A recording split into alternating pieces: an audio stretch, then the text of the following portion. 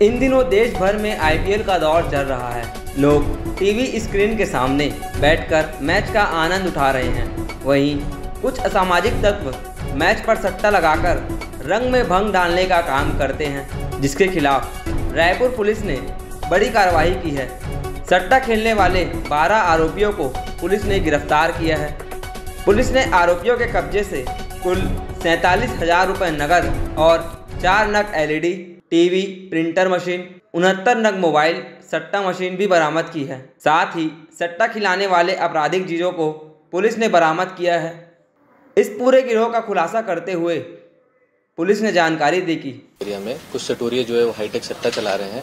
जानकारी मिलने पर दोनों थाना क्षेत्रों में क्राइम ब्रांच की स्पेशल टीम को लगाया गया था। कल रात में रेड कार्रवाई करते हुए कुल तेरह लोगों को इसमें गिरफ़्तार किया गया, जिसमें सात लोगों की गिरफ्तारी जो है तेलीबांधा थाना क्षेत्र में हुई है और छह लोगों की गिरफ्तारी आज़ाद चौक थाना क्षेत्र में हुई है।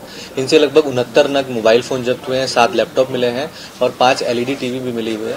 ये लगातार जो है वहाँ पर एक सिस्टम लगाकर सट्टा खिला रहे थे और एक सिस्टम में 20 फ़ोन ये एक साथ ऑपरेट करते थे जिसपे अलग अलग लाइन दी हुई थी और उसके माध्यम से इसे भी सट्टा चला रहे थे। इसमें जो लाइन मिली हुई थी, उसकी जानकारी हम लोग कलेक्ट कर रहे हैं कि ये लाइन उनको कहाँ से मिली हुई थी। अभी जो प्रारंभिक जानकारी मिली है, उसमें ये लाइन जो है दिल्ली और मुंबई से लेना लोगों ने बताया है।